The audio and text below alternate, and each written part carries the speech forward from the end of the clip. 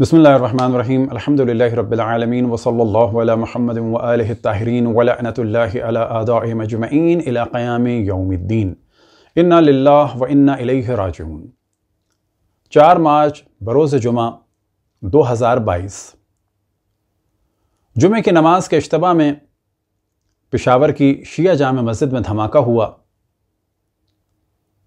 और इमाम मस्जिद मौलाना शेख इरशाद हुसैन खलीली साहब शहीद हुए और अब तक की इतलात के मुताबिक तकरीबन सत्तर के करीब ममिन शहीद हो चुके हैं और डेढ़ सौ के करीब ज़ख्मी हैं। और बाज़ इतने शदीद ज़ख्मी हैं कि शहादतों की तादाद बढ़ने का बहुत ही कभी इम्कान है। यह हमारी गुफ्तु न फ़कत ताज़ियतनामे की हद तक है। और ना ही सुनी हुई ख़बरों को दोबारा डिस्कशन करने के लिए। यह हमारी गुफ्तु है कौम के नौजवानों और पढ़े लिखे अफराद को आगाह करने के लिए कि वो दुश्मन को भी समझें, दुश्मन के आलाकार को भी समझें, दुश्मन के सहूलतकार को भी समझें, उन दुश्मनों को भी समझें कि जो दुश्मन के मकतब फ़िक्र से हमारे दरमियान हैं अब ये वाक़ कोई नया वाक़ नहीं है और हम तफसील बयान करेंगे। जब भी कोई वाक़ होता है तो दुश्मन और उसके आलाकार और सहूलतकार, ये चाहते हैं कि मुजरम को छुपाया जाए और जुर्म किसी और पर डाला जाए। बिल्कुल वैसे ही जैसे यजीद ने अपना जुर्म इबन ज़ियाद पर डालना चाहा और फिर माल असबाब लूटने की नस्बत इमाम हुसैन पर दे दी,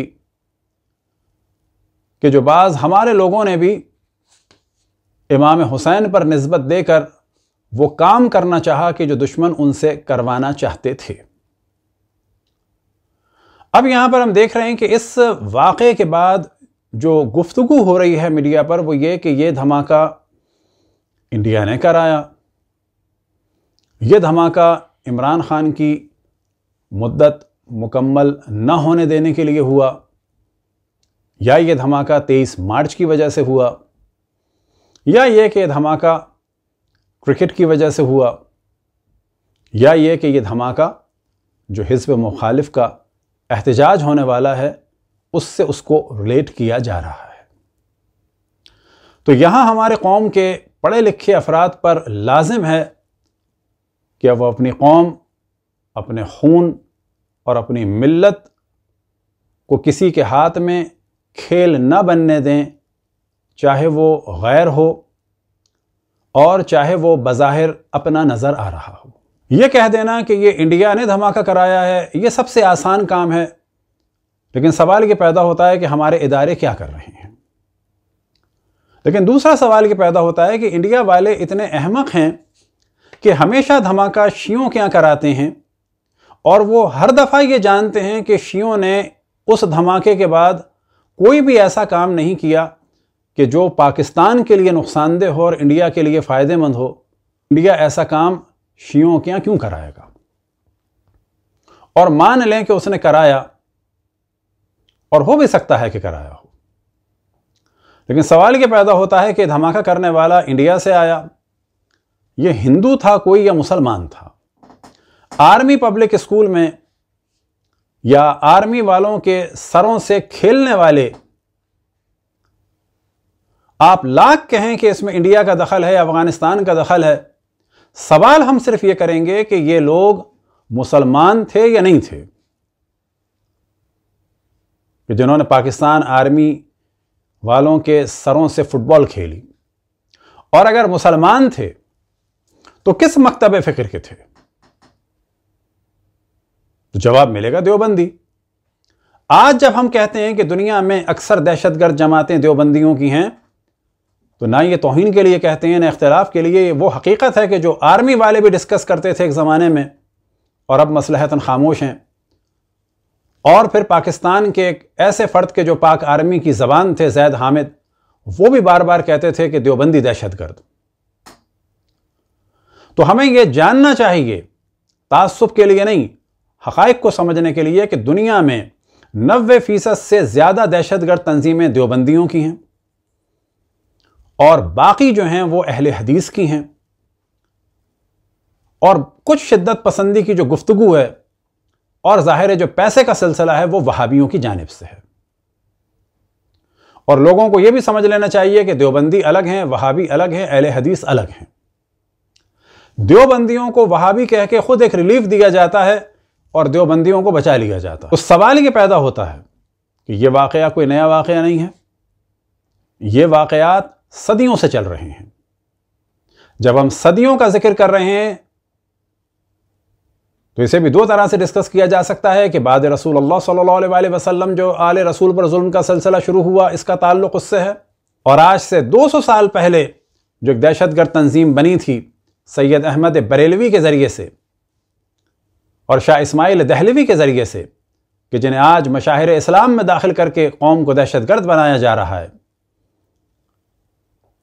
यह सिलसिला वहाँ से शुरू हुआ बर्र सग़ीर में।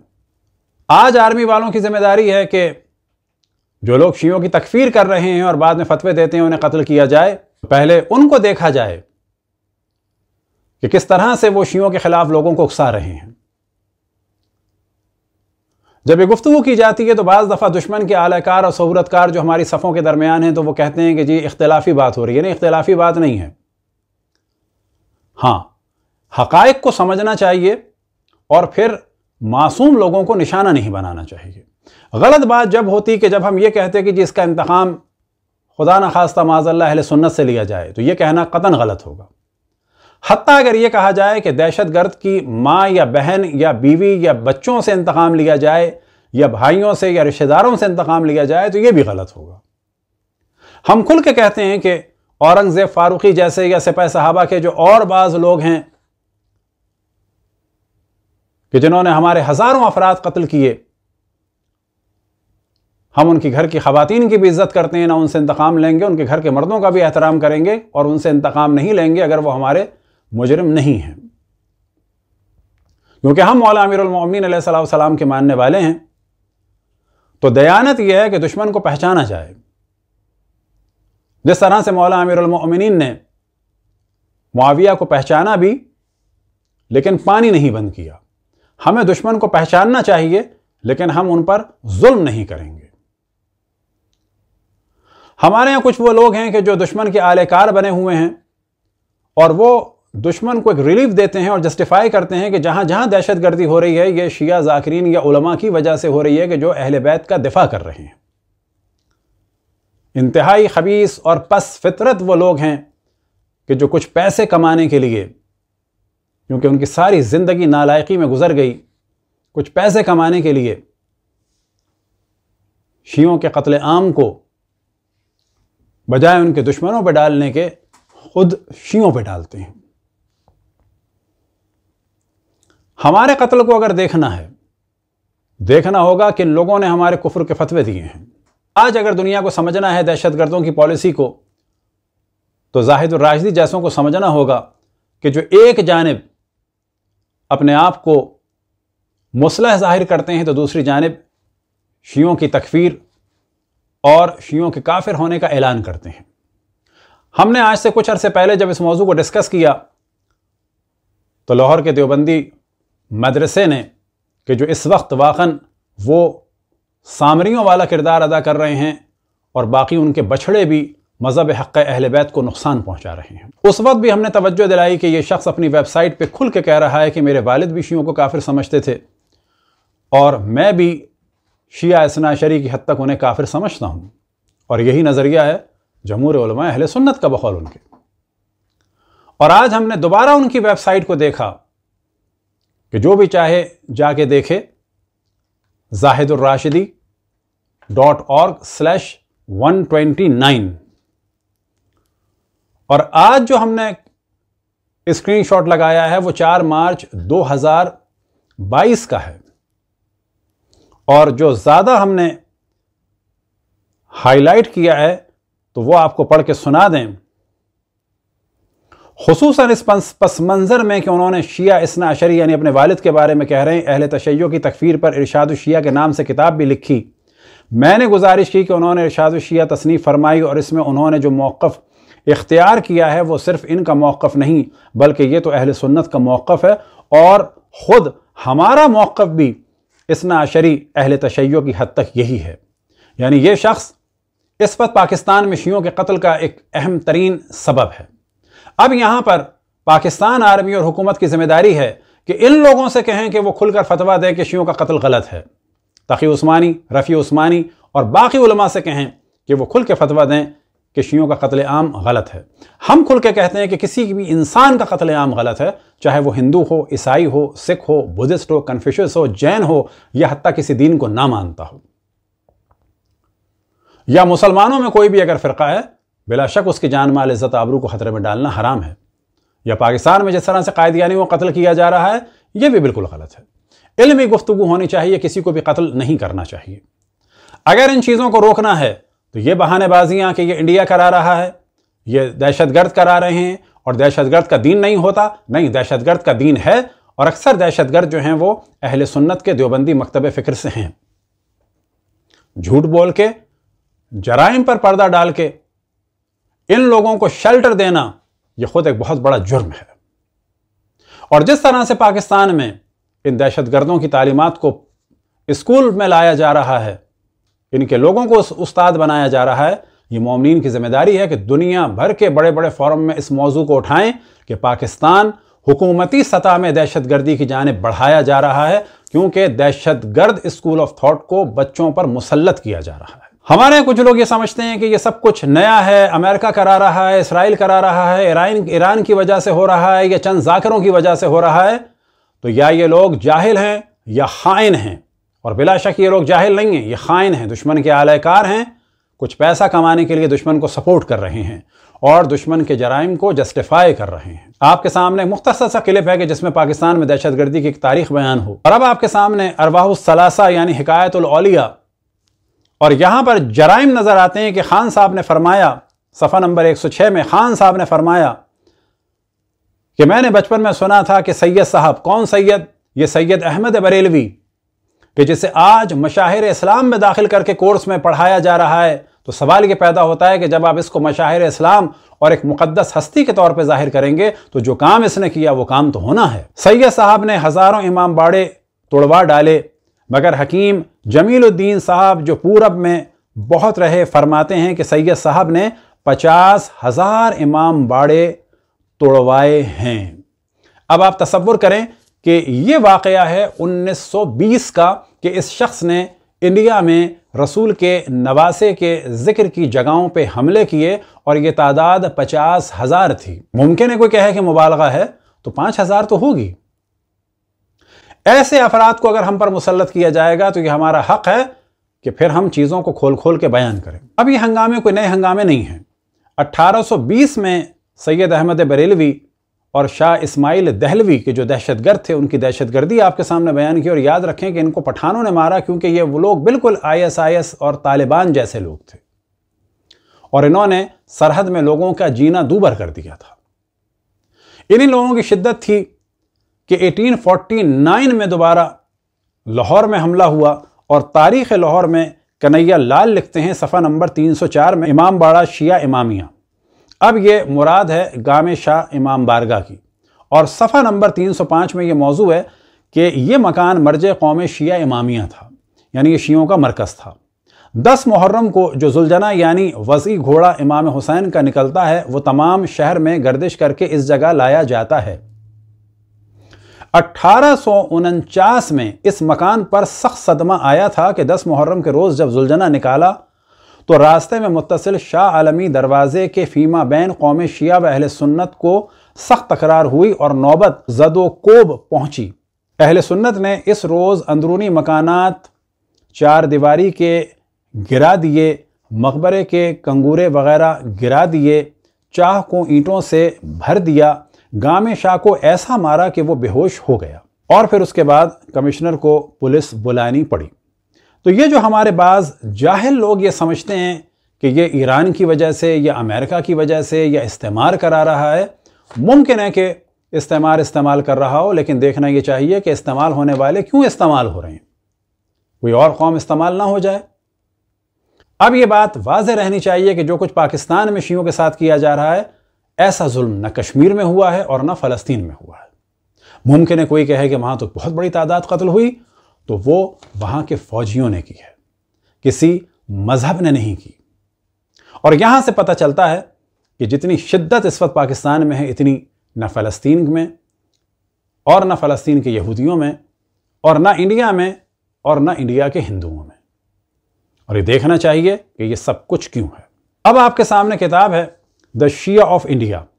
और पेज नंबर है 178 और यहाँ पर यह मौजू है कि जब जुलूस निकला 1940 में, यही खातन के जिनको घर से नहीं निकलने दिया जाता और कहा जाता है कि ये फ़कत घर में रहें, ये दुश्मन आयल बैत खातन जुलूस के आगे आईं और आगे आके लेट गईं। ये बात आजकल की नहीं है 1940 की है। और 1940 में इमाम हुसैन के जुलूस में बॉम्ब ब्लास्ट हुआ। अब ठेरी का वाक़ भी किस पे डाला जाएगा? इंडिया पे डाला जाएगा? या अमेरिका पे डाला जाएगा? या किसी और पे डाला जाएगा? बिला शक, दुश्मनान इस्लाम और पाकिस्तान किसी को भी इस्तेमाल कर सकते हैं, लेकिन असल मौजू यह है कि एक ही मकतब फ़िक्र क्यों इस्तेमाल हो रहा? आँखें बंद कर लेने से मुश्किल हल नहीं होती। हमने कुछ अर्से पहले भी जब फ़लस्तीन में शीयत के बारे में डिस्कशन किया तो वहाँ भी तवज्जो दिलाई कि फरवरी 2019 को जो फ़लस्तीन के चंद लोग शिया हो गए थे, उन्होंने मलेशिया एक बनाई। उस पूरी मलेशिया को ख़त्म कर दिया हमास वालों ने और गायब कर दिया, और आज तक उनका पता नहीं है कि वो कहाँ हैं। तो हमें समझना चाहिए कि किस तरह से शियों के खिलाफ जहर उगला जा रहा है। और दोबारा तवज्जो दिलाएँ कि पाकिस्तान में यह वाक़ नया नहीं है। तारीख भी बयान कर दी। और इसी माजी करीब में जो वाक़ात हुए, चाहे कोयटा में एक एक दिन में कई कई सौ अफराद की शहादत हो, चाहे कराची में पूरे लालू खेत के ममिन के घर जलाने का सिलसिला हो, और चाहे पाकिस्तान के दीगर इलाक़ों में कत्लेआम का सिलसिला हो, मसाजिद और इमाम बारगाँव और कुरान को जलाने का सिलसिला हो और चाहे चिलास और मुख्तलिफ़ इलाक़ों में बसों से उतार उतार के ममिन को कत्ल किया जाना हो, इन तमाम चीज़ों को ये कह के नज़रअंदाज नहीं किया जा सकता कि ये इस मुल्क की साजिश है या उस मुल्क की साजिश है या मुसलमानों को लड़ाने की साजिश है। फिर हम तवज्जो दिलाएँ कि मुसलमानों को लड़ाने की साजिश उस वक्त कामयाब होती कि जब शिया अपने कत्ल के बाद बड़े पैमाने पर पाकिस्तान को या किसी फ़िरक़े को निशाना बनाते। क्योंकि शियों ने कभी भी किसी को निशाना नहीं बनाया, लिहाजा कभी भी दुश्मन ये साजिश नहीं कर सकता। ये साजिश उन लोगों की है कि जो अपनी वेबसाइट पर शियों की तकफीर कर रहे हैं और शियों के कत्ल के जवाब को फराहम कर रहे हैं। आखिर में फिर तवज्जो दिलाएँ कि वो लोग कि जो शियों की सफ़ों में दाखिल हो गए हैं और दुश्मन को सपोर्ट कर रहे हैं, अहल बैत के दुश्मन के फ़जाइल पढ़ रहे हैं अहल बैत के मज़हब और मकतब पर कीचड़ उछाल रहे हैं। अहल बैत के चाहने वालों को शक में डाल रहे हैं और शियों के कातलों को सपोर्ट करने के लिए उनके जुर्म को जस्टिफाई कर रहे हैं और उनके कत्ल को भी शियों पर डाल रहे हैं। शियों को गाली और काफिर करार देकर उनके कत्ल आम के लिए राहें हमवार कर रहे हैं सिर्फ़ एक शख्स के लिए और चंद दुनियावी फ़वाद के लिए। दुआ कि खुदाबंद तबारक वाली हमारे दुश्मनों को हिदायत अदा फ़रमाए, चाहे वो हमारे दरमियान हों, चाहे बाहर हों, और अगर हिदायत के काबिल ना हों तो उन्हें नीस तो नाबूद फरमाए, और जिन लोगों का वो दिफा कर रहे हैं, उन्हीं के साथ उन्हें महशूर फरमाए। वसल्ला महमद व ताहरी